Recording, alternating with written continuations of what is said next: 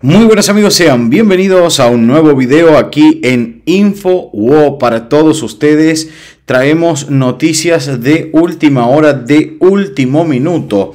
Terremoto de magnitud fuerte 6.5 acaba de sacudir todo el norte de la ciudad de Zapala en Neuquén.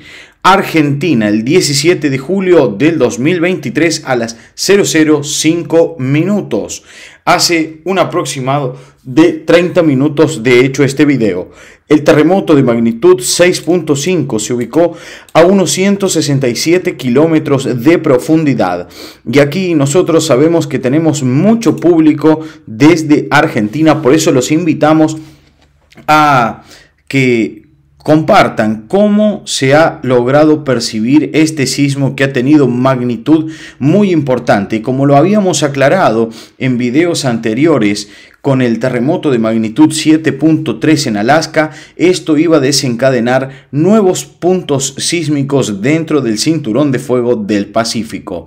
Ahora podemos ver que ya todo está prácticamente cumplido. Y lo preocupante de este terremoto es que ocurrió en la zona de Argentina. Miren aquí el gran impacto que ha tenido el sismo. Afortunadamente no genera alerta de tsunami, pero ha logrado percibirse en la ciudad de Santiago de Chile. Y el impacto más directo lo ha tenido con la población chilena, más que con la argentina. Más allá de todo eso, invitamos a los dos países, a nuestros suscriptores de los dos países, que compartan cómo ha logrado percibirse este terremoto que estaremos leyendo cada uno de sus comentarios. Aquí nos dice la gente, se movió el televisor y la cama a unos 400 kilómetros de distancia se eh, logró percibir. Aquí otra persona desde 500 kilómetros nos dice que estaba acostado y aún no terminaba de detenerse máximo un minuto de duración a 500 kilómetros. De seguro se encontraba en una zona muy alta.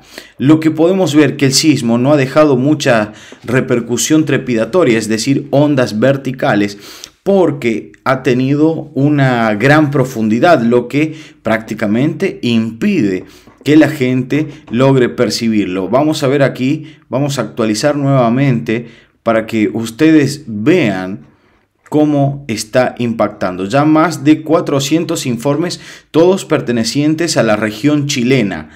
Todos los informes vienen desde Chile. Mucha gente comentando desde Chile. Lo que podemos observar aquí en el gráfico es que en el día de hoy tuvimos varios sismos importantes. Y miren qué extraño que es esto, esta cuestión. Miren, tenemos Alaska, tenemos México y tenemos el sur, que lo habíamos advertido, podía darse o en Estados Unidos o bien en la zona de Chile-Argentina.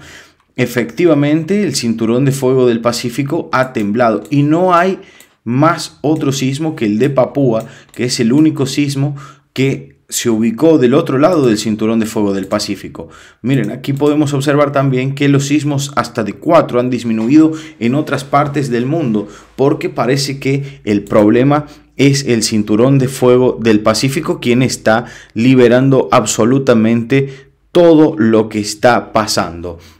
Ya más de 400 informes de la gente llevan en tan solo unos minutos de movimiento telúrico. Mucha atención, queridos amigos, para esto vamos a revisar aquí el Servicio Geológico de los Estados Unidos que nos da ya otro enfoque diferente, magnitud 6.6, una intensidad de agitación de nivel 5 y miren, aquí tendría lógicamente el impacto, pero ha sido más impactante en la zona de Neuquén. Y eso a mí me preocupa porque la gente de Neuquén no se está haciendo presente dentro de la eh, aplicación para informar teniendo en cuenta que la zona de Zapala que cuenta con 31 mil habitantes se encuentra a 80 kilómetros tan solamente y la ciudad de Neuquén a 200 kilómetros debería sentirse con mucha más intensidad.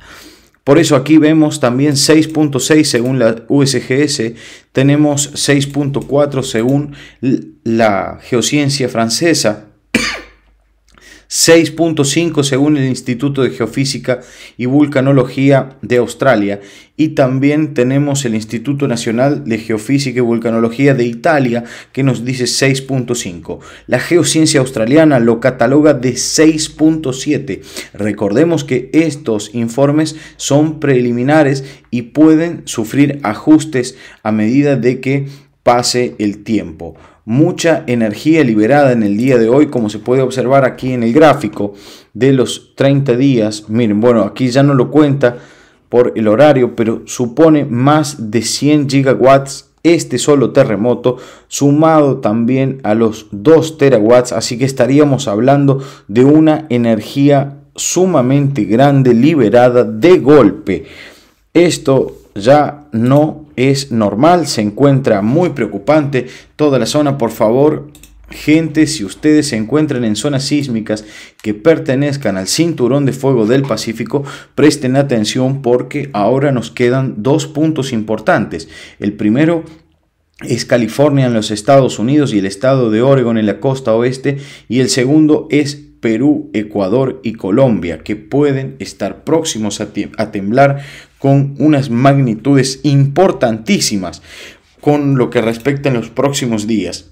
Se había hablado de que después del 15 de julio toda la situación sísmica iba a cambiar, estamos teniendo eventos que aparentemente son súper influyentes con respecto a los sismos, como por ejemplo las tormentas solares. También tenemos otro de los eh, eventos que fue uno de los más sonados, que era la proyección de eh, la geometría planetaria, un sistema nuevo que se está agregando a la proyección de los terremotos, lo cual nos indica también de que ya las herramientas son bastante amplias para poder proyectar la energía sísmica del mundo y a dónde se está dando. Pero aquí lo, lo más preocupante es que Afortunadamente estos sismos de hoy no han sucedido en zonas que son sumamente pobladas o han tenido profundidades muy grandes, lo que reduce seriamente su impacto dentro de las comunidades cercanas a los epicentros, como por ejemplo el de 7.2 en Alaska, muy lejos de la población, el de 5.2 en México, mucha profundidad, y ahora este sismo de 6.7 en Argentina, también una profundidad sumamente grande, lo cual nos indica muy claramente que debemos prestar atención porque si estos sismos comienzan a reducir su profundidad, estaremos frente a un grave problema enfrentándonos en zonas donde puede generar grandes tsunamis o bien destrucción total como ha sucedido en Turquía. Eh, a comienzo de este año. Así que amigos, sin más que decirles, no olviden suscribirse, darle like y activar la campanita. Nos vemos en el próximo video.